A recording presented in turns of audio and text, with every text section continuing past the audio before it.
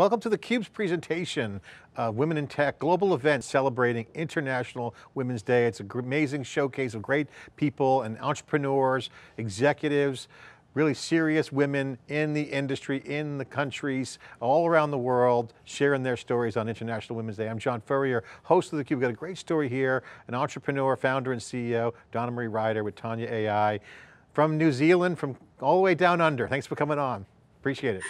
Thanks for having me. I love your story. Let's stop. let's let's start by just setting the table about your story, where your background's from, how you got into the business. Take us through quickly that origination story. Sure.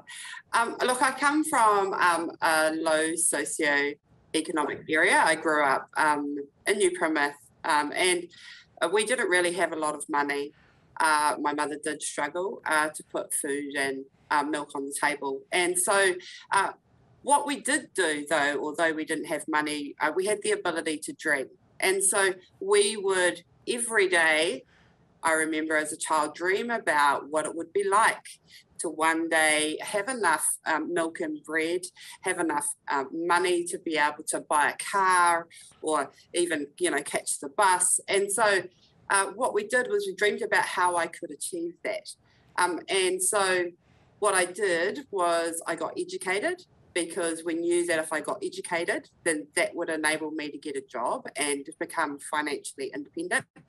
Um, but one of the key things she also made me promise was that not only would I get educated and, and have enough money um, to support myself, but then once I did that, that I would then give back that knowledge and understanding so that I could strengthen others. Well, I love this, love the story again. Entrepreneurship is a lot like picking yourself up, you, failure is part of the process. You got to grind, you got to do the hard work, got to have the idea, you got to make it happen. You've done that with Tania.ai. Building the business is hard. Never mind for doing it as a woman as well and your conditions. What a dream. You found your dream. Yeah. What's it like right now? Uh, it's hard work. I'm not going to pretend. I know that it, um, around the world, everyone's excited and they say, I'm going to leave my job and, you know, I've had enough and, and now I'm going to stand up my own business. We've been working on Tania.ai for almost three years now. Um, running, you know, standing up a business and then running it successfully once you've stood it up is actually a lot harder than what people think. Um, especially being a woman as well and a Maori, which is essentially an Indigenous person of New Zealand. Um, it, it is a little bit harder uh, to do that, um, especially when when you choose the industry to do that in, which is technology. Uh, you don't have a lot of other women. Um, there are some women coming through from Indigenous backgrounds uh, that are paving the way um, for us, but there's not a lot of us around, and so it does make it a lot more trickier. But um, I had a dream and I had a vision that I was going to be able to give back what I had learnt about business and about money to help others. So uh, tech was where it was going to be. Well, it's certainly an inspiration for many. I love the success story and entrepreneurship is hard enough as it is, like I said, but being a woman is even harder. What are, what are some examples can you give when you were coming through? Because uh, you got to really kind of push through and break down walls uh, to get things done in any startup. And with the corporate world with its biases and there's also um, people's preconceived mindset of who's, who's should be in what position, what founders are, what entrepreneurship is. What was it like? Can you give some examples of situations that you broke through? Um, look, I think that immediately people underestimate you when you're a woman, especially an Indigenous woman. And so, um, what I was so basically, what I would do is I didn't think about what they thought. Um, what I focused on was what actually where I needed to go. And so, although people didn't believe that I could get it done, they thought I was dreaming. I know people said um, at one point, they said, Oh, this company looks like they're doing something similar to you. They've just raised $2 million. What makes you think that you're going to be even come close to being successful like they are? Um, and, and my response to them was that, that they aren't me they don't have me in their organisation, and I think that's something really critical um, that women um, have to understand uh, when they're standing up in an organisation, especially one within technology. We as a woman are unique Uh, we bring to the table a different set of um, values and, and different sets of principles that potentially others don't also bring to the table. We have a different level of work ethic. And so I actually think that um, through those experiences, I was able to be more resilient and follow through in terms of what I believed was possible. So it didn't matter what people thought. It didn't matter if someone was richer or had more money than we did, or they had more execs. I remember the other thing was, oh, we've they've got all these, you know, really high high performing executives from large organizations in New Zealand and and who do you have? Um, again, my response was, well, they don't have me, right? And so that makes a significant difference. Um, it's not that I'm a unicorn, but it, but it's that I have a very strong belief system and I have a I have a dream that I've been following for almost 40 years and trying to make come true. So those two things are things that you can't underestimate. And sometimes they're actually a lot more um, productive and valuable than money or positional executives within your organization. Yeah, that's a great, great insight. And then again, congratulations again, great inspiration. Most people worry about what everyone else is doing. Hey, look what they got. They don't focus on what they're doing. But I love the confidence, the conviction, um, preparation, education. These are all themes that are coming out of this International Women's Day around how to be successful, how to raise your hand, how to drive through, how to drive, control your career, control your own destiny. Yeah. This is a theme education plays a big part of it. And obviously you're building a company, Amazon's, you're involved with Amazon, you got education now at your fingertips on the internet. Education is out there now. You can like get it instantly and you can level up with cloud and, and, and refactor and compete at any yeah, level. I mean, yeah, absolutely. I think if you look at AWS, they gave us the opportunity to be global instantly. I mean, without that you know, without their infrastructure and their back end, and for us to turn that on in any country that we wanted, um, we wouldn't have been able to go global. And so, uh, you know, I really do appreciate all of the different platforms and the technologies that we can access as a CEO of a tech organization so that it actually enables us to be a global and have a global footprint. You know, you're a great example of what I always say about cloud computing and these platforms is they're agnostic when it comes to talent. If you can write good code and you're talented, the world is uh, yours. There's no real degree you can get from a pedigree college or university if you have what it takes. Yeah. Just plug it onto the cloud and you're instantly global. This is this is new. This wasn't like this years no. ago. Look, and to be honest, when I first set up Tania.ai, we chose voice um, Alexa Voice as one of our channels to uh, for, through which Tania.ai would provide financial updates to organisations. Now, I didn't know, no one in New Zealand or Australia even knew what an Alexa was three years ago. And so essentially, you know, the, the ability to have access to people around the world to build your team um, and to have infrastructure like Amazon, uh, it just enables us to achieve great things um, it enables us to give back more than we ever thought possible. So I think it's being able to know where you need to plug the gap and then plugging that with infrastructure which is strong and enables you to continue to grow um, can really help you go forward. So talk to me about your, your current situation as a tech leader, uh, as a woman in tech now. You have a company, you're giving back, you're fulfilling your dream, uh, you have a life, right? You, you got to live your life and balance your life and you're doing it all. What's it like being a tech leader and, and um, being a high performing uh, entrepreneur?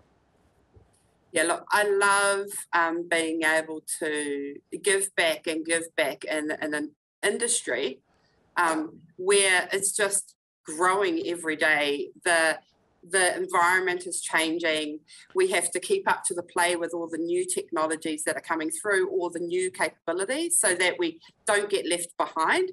Technology enables you to become more efficient and effective. And what we were working on three years ago, that's now changed significantly in terms of what it looks like now, how fast it can go, uh, how much reach we can achieve when we're going out to our other um, customers and uh, for, uh, footprints across the globe.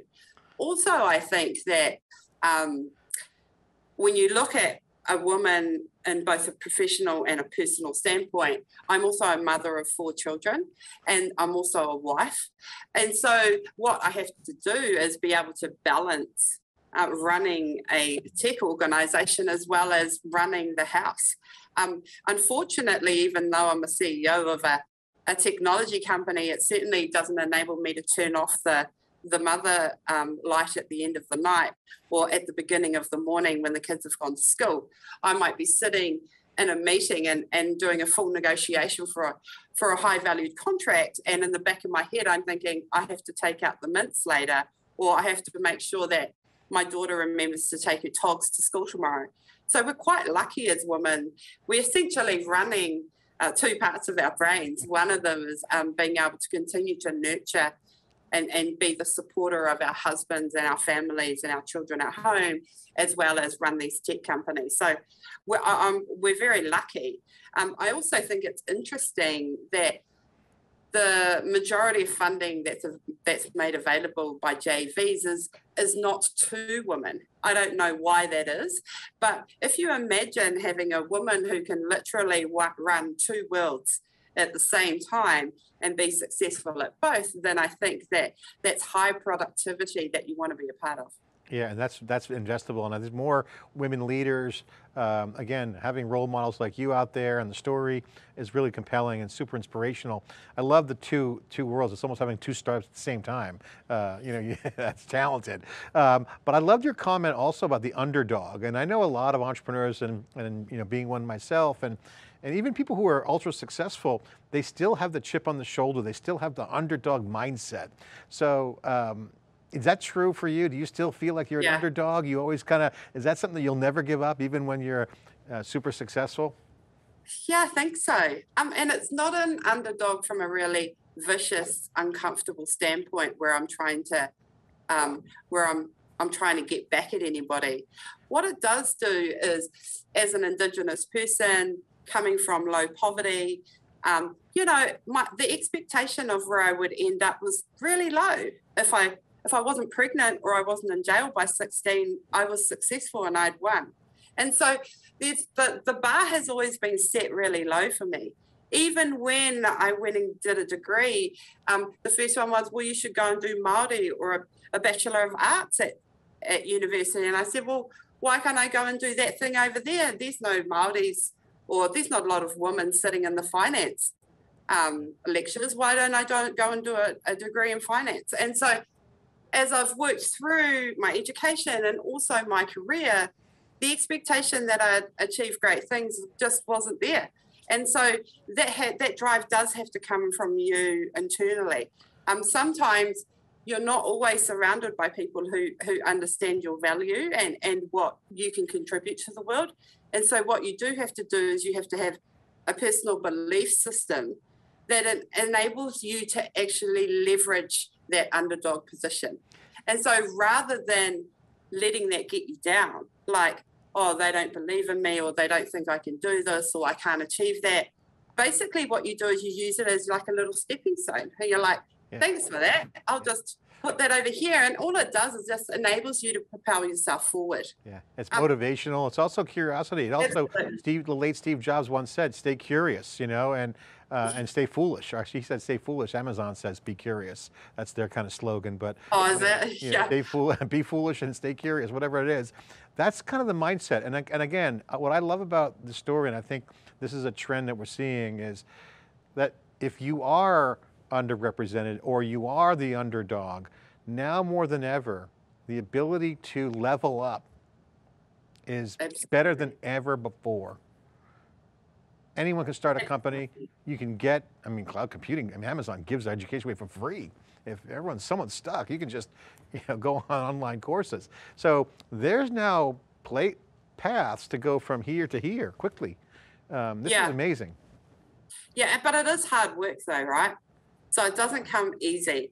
Um, and so that is one thing I think that people underestimate about the ability to stand up a business and then it becomes this, you know, Apple or Amazon or Google. And so, uh, yes, my vision is that um, we're on a road trip to NASDAQ. We're on we're focused on being able to list on the NASDAQ in five years' time at, with a billion dollar valuation. And yes, that is a vision, but being able to be open minded about what it's going to take to actually get there is really important. And so you can have conviction, but you need to follow through and have action. Um, you need to be open minded about changing the way you thought it was going to look. I mean, we've reiterated Tania.ai probably three or four times since we've gone live last year. Um, and that was because she wasn't where she needed to be. We needed to pivot her so that we could continue to ensure that we ended up with the product market fit that enabled us to meet our vision, but also to achieve our financial and strategic goals. That's a great point. You got to do the work. You got to grind it out sometimes. You got to be sensitive to the customers and the market. This is the secret. Final question for you. What a great conversation. Um, as an entrepreneur, we all know it's the trials and tribulations, it's a roller coaster, a lot of emotion, uh, like, a like raising a family. You don't know what you're going to get. You know, anything's possible. H how do you maintain the balance emotionally uh, as you go in and, and, continue to build out your business? You got to take the highs and the lows. Oh, look, um, in the early days of standing out Tania.ai, I was very naive not because I was a woman, just because I was new to the game. Um, I had always worked for global organizations that were already established, that had big pits of money, um, that had resources that I could call on. And so I'd say that first six to 12 months was really hard. There was a time there where I had to rebuild Tania.ai. They had changed the back end infrastructure. Um, I'd spoken to Xero and Amazon Alexa, and I had to achieve a certain um, certain I had to go through a number of different gates. And what that meant is that I had to rebuild build her. Um, I think I cried uh, initially for the first couple of days. Um, but then it was actually, it took me about a month to get over myself. And what I mean by that is I had this vision and this dream about how it was going to be. I was going to do this, and then all these steps were going to follow, and everything was going to turn out how I expected. Um, and then it, it hit me within the first three months of trying to get accreditation that it wasn't how it wasn't going to turn out how I wanted. I didn't have the resources or the money to execute it how I wanted it. And therefore, what I had to do was understand my why. Because what happened was I was able then to use my why as the basis for why I was making decisions going forward. So rather than it being just this vision about where I was going to land, it ended up being it doesn't matter the how, the pathway we get there. Obviously, we want to do it with integrity, but I don't necessarily know all the steps of how that's going to happen, but I need to be open to the fact that it won't. Now, when I get disappointed and things don't happen how I expect them now, I basically just pivot. Initially, I cried. And I'd sit yeah. there and I'd complain to my poor husband. And I'd be like, oh my God, they won't let me do this. Or Amazon Alexa, they've, they've turned me down and I'm not allowed to do it this way. And I can't, you know, and I just complained and whined. Um, but three years on, basically, whenever I hit a wall or I hit a roadblock, I'm just, I just step back and go, right, I can't go that way. Let's find another way. And so I think you have to be really resilient around um, accepting that things won't always go your way, but there is always another way. Donnamaree, great conversation, building a business in tech from your dreams, getting educated, going out in the arena, being successful. Again, once you're successful, you can write your origination story. The, the, the, victory, uh, the victor writes the narrative, as they say. So it is, it can be disappointing sometimes when you're learning to grow like that, and businesses like that. It's a great story, and um, congratulations. And thank you so much for, for taking the time to, to share on theCUBE as part of our celebration of International Women's Day. Thank you so much. Okay, thanks so much, John. Okay, this is theCUBE presentation of Women in Tech global event celebrating International Women's Day. I'm John Furrier, host of theCUBE. Thanks for watching.